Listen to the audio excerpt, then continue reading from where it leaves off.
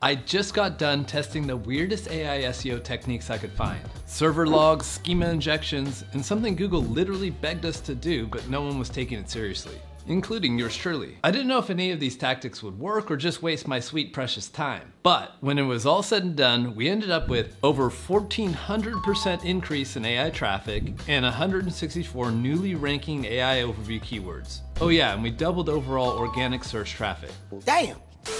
In this video, I'll show you exactly what I did step by step so you can skip the guesswork and start showing up in Google AI Overviews, ChatGPT, and every other AI that your little heart desires. You'll learn how to find out which of your pages AI bots are completely ignoring, and how to fix it, a simple tweak that gets Google's AI to start citing your content, and the underused format that gets ChatGPT to make out with you. I'm Matt Diggity, I'm the director of the international SEO agency, The Search Initiative, and today I'm gonna give you some outside the box AI SEO techniques. Let me take you back to about a year ago. If you subscribe to this channel, you may remember a case study where I tripled traffic on Google in nine months. It was for a client that sold pots, you know, for planting plants and stuff.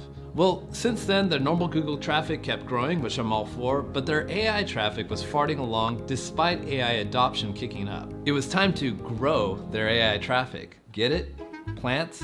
Grow? Whatever. Anyways, real quick before I get started dropping nuggets, I wanted to let you know that my agency, The Search Initiative, is taking on a handful of clients right now for $1,000 off the first month if you promise to laugh at at least one joke in this video. Just head on over to thesearchinitiative.com, put your deets into the form, and we'll get right back to you. All right, this first tactic, I had to be freaking bribed to try, and that's AI log file analysis. I used to think log analysis was tedious, but today I'm gonna show you how to do it with ChatGPT. And just like anything else you do with ChatGPT, it's easy as first, what are log files? They're text files that keep a record of every time a user or a bot, including AI bots, visits your site. You get the IP address, the time of request, and status codes. Pretty cool, right?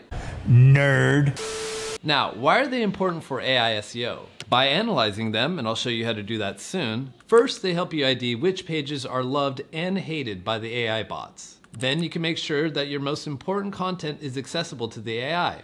You can tell the AI to ignore content that it's wasting time on. You can detect slow loading pages that affect AI rankings and much more. But first, where do you find your log files? Most hosting services have a file manager with a folder that contains your log files, often named logs, access logs, or something like that. Just download the thing. Now open ChatGPT, upload the file, and give it this prompt, which you'll find in the description. I've attached log files from my website server. Please analyze the logs focusing on Googlebot and AI crawlers such as GPTBot, which is ChatGPT's, ClaudeBot, and blah blah blah. Identify all hits from user agents containing any of the following keywords, Google, GPTBot, yada yada. Once you've analyzed this, I will ask you to perform a series of tasks. They'll give you a summary like this which shows the hit rate from each AI bot. Nice. Now enter this prompt.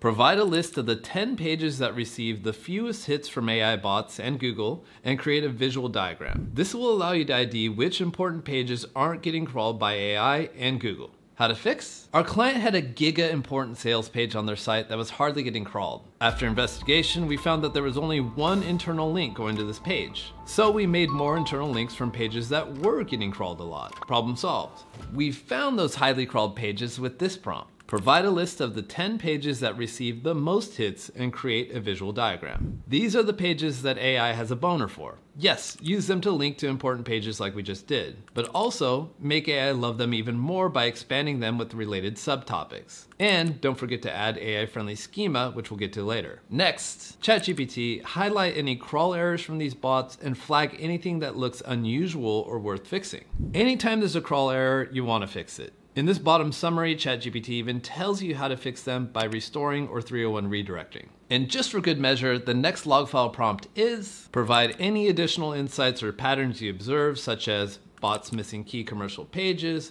pages being crawled unexpectedly often, and sudden spikes in crawl activity. You'll get a nice set of AI driven insights like fixing content quality, speeding up a page, and more. Next up, have you ever read this Google Search Central post on how to make sure your content does well in AI? Here's where Google basically gives away the secret to getting cited by AI. There's a section here on making sure that your structured data, also known as schema, matches your visible content. Well, despite their sophisticated algorithms, search engines need help when reading and identifying content. Why? Well, unlike you humans with your fancy eyeballs, search engines lack the visual and intuitive capabilities to interpret content. While you can understand that this how to tell if your cat is trying to kill you article is satirical, a bot probably thinks it's a genuine pet behavior guide.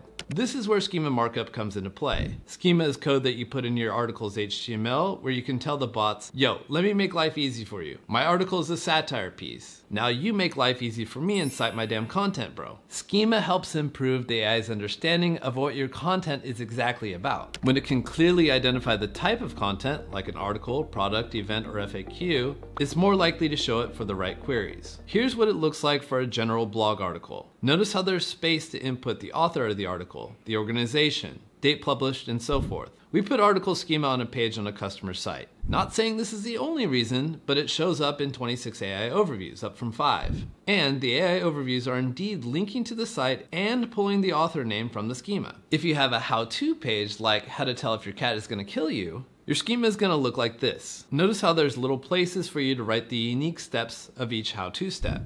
And sorry it's blurred, our client prefers confidentiality, but here's AI overviews citing each step by step and giving them the link. Now there's a billion types of schema for a billion types of content. Seriously, don't memorize that shit. Waste of brain space. Use ChatGPT to generate the schema for you. For example, if you had an FAQ page, you'd prompt ChatGPT, please generate, always say please, JSON LD FAQ page schema for my web page. Below is the information for each question and answer. FAQ content. Question one, answer one. Question two, answer two, and so forth and bam, here's your AI-friendly FAQ page schema markup. Now simply place the markup inside a script tag within the head section of your web page. Most people just use plugins. Next, let's go back to the Google post on AI success tactics and find the section called Go Beyond Text for Multimodal Success. When you translate this from nerd to English, it basically just means that if your content includes high quality images and video, then you're more likely to show up in AI. How much more likely? It's hard to say, but you see this all the time. Here's an example of ChatGPT referencing both images and text for how to tie a Windsor knot from the same website. Graphics and video give AI more to work with, so it's more likely to reference you. And even if your textual content isn't used, it's still possible that they'll use your images, videos, and don't forget tables. LLMs love structure, so content that's in tables gets gobbled up. Here's some more multimodal tactics. Use descriptive alt text. Describe the image's actual content and don't stuff keywords. Use clear file names that actually represent the image. Avoid images of tables and use HTML instead and add transcripts to your video posts. Here's a post on how to introduce new cats. The video's up here, the transcript is down here, which includes some weird ass content about spreading the new cat scent around the home. And sure enough, here's the AI overview talking about stinking up your house with new cat fragrance and a link to the article. Now, what was the result of all this AI SEO effort? AI traffic grew by 1400%, the site now appears in 164 AI overviews, and overall organic traffic has doubled. If you'd like us to take a look at your SEO, head on over to thesearchinitiative.com and use the form at the bottom to reach out. We'd be happy to take a look at your site and let you know what we can do for you. $1,000 off your first month until the end of the month.